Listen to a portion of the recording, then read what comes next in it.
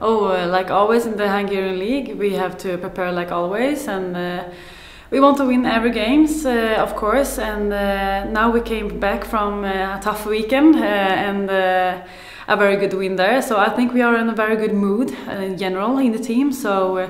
of course, we will go there. It's a long trip, but we will go there to do everything and hopefully play very good.